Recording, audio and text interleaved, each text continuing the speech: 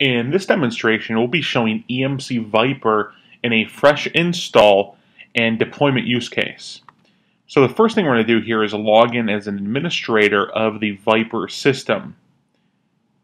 When you first log in, you can see that you're presented with a couple different options. One is targeted for infrastructure management, and the other for configuration and security.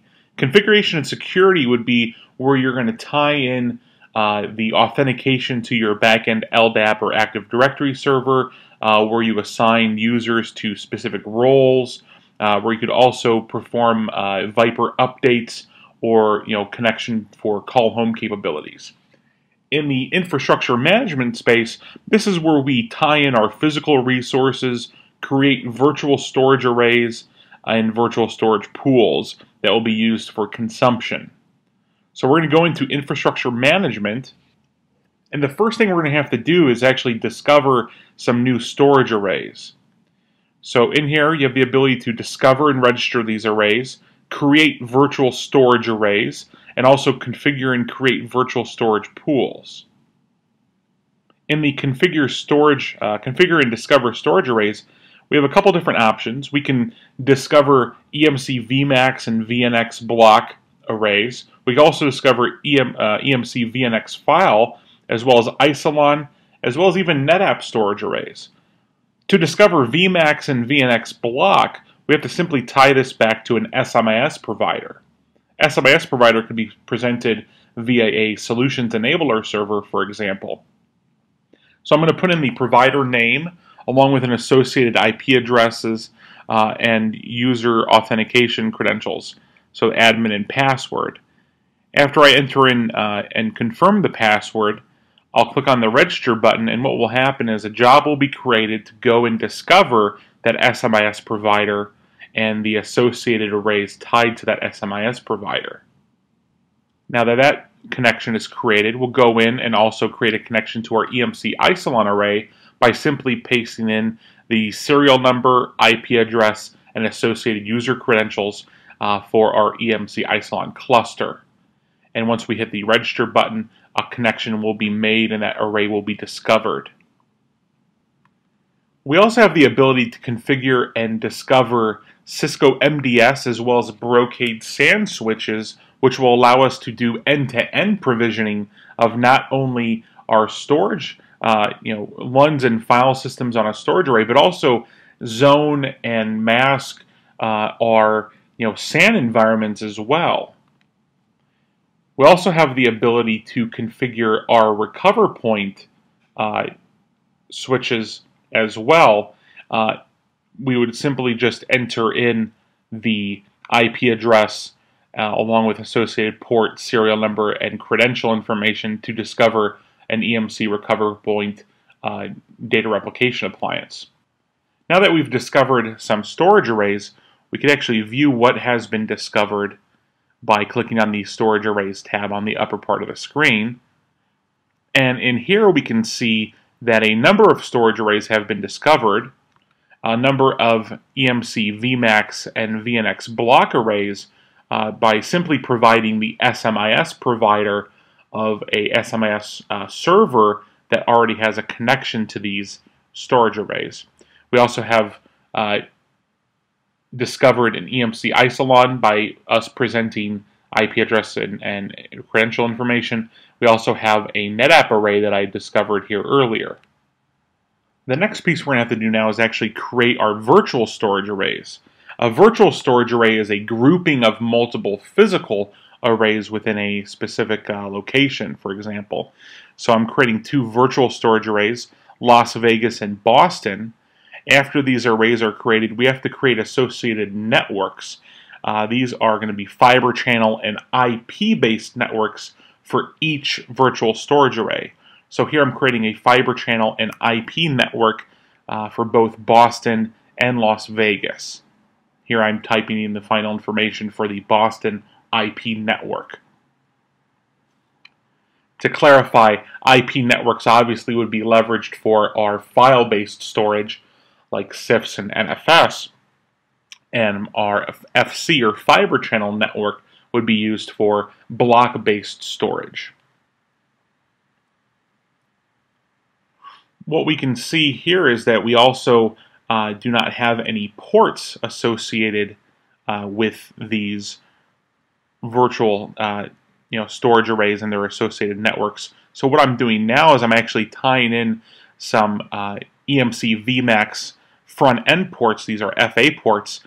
I'm tying these and registering them to uh, the fiber channel network of our Boston virtual storage array. So as you can see here, I chose two FAs and I'm tying them to that Boston FC network. After we associate our storage ports to our virtual storage array, we should also associate a, uh, our host worldwide names to these virtual storage arrays as well. So as you can see here, our virtual, our storage ports on the storage array side are created on both Boston and Las Vegas. But what I'm going to do now is actually type in the worldwide name or WWN of a host within the Boston Fiber Channel network. So here I'm typing in a full uh, WWN address uh, to add into this Boston Fiber Channel network. And what that's going to do now is actually create an end-to-end -end relationship. So if I were to create uh, storage on this virtual storage array for that associated host, it would do a lot more than actually just provision the storage. I want to do more. Uh, it would it would do a lot more than just create the LUN. It would actually go in and and zone the SAN for me if I created that relationship to my Cisco MDS or Brocade SAN fabric.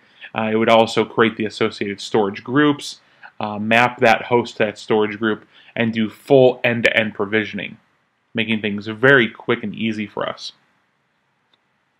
After we create our virtual storage arrays and all of our necessary uh, uh dependencies, it's now on us to create the virtual storage pool. A virtual storage pool uh, is typically either file or block, but can have a number of other different characteristics assigned to it. So what I'm creating here is I'm creating a performance, uh, you know, high tier for block. That'll be the name and description. I'm also going to put that this is tied to our VMAX arrays.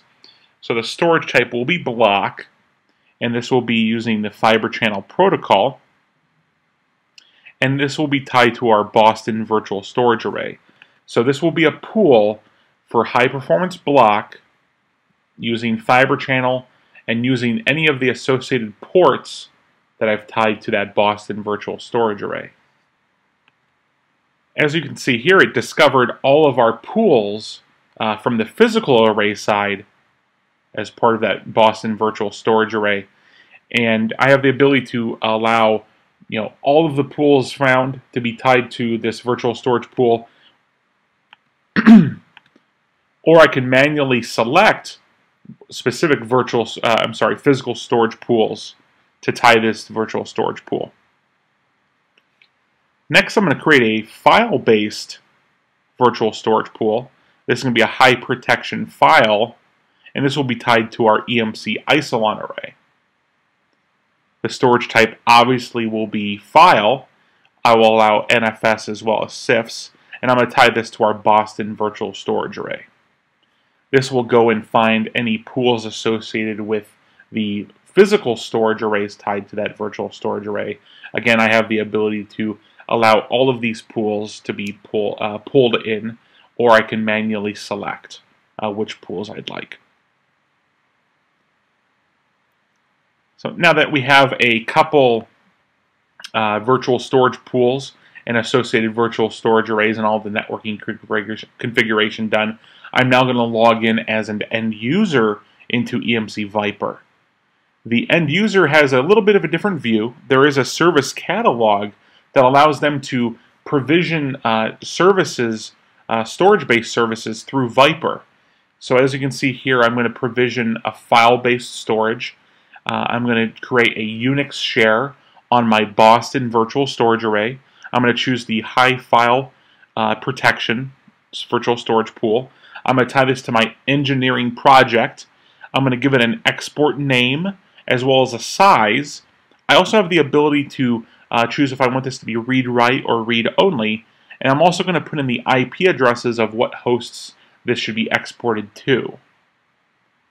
Again, this is just one example. I can do a number of different things from ViPR, including provisioning block storage that may be associated with a number of diff, uh, you know, different uh, applications or virtual infrastructures. I also have the ability, uh, you know, because of the rich APIs within ViPR, I also have the ability to automate some of these things uh, through other orchestration or automation engines, uh, including things like vCloud Automation Center or even OpenStack. So as you can see here, our, our file share was created and uh, the file system was created on our virtual storage array and the NFS export was also created mapped back to the IP address that I presented it to in the uh, in the previous window.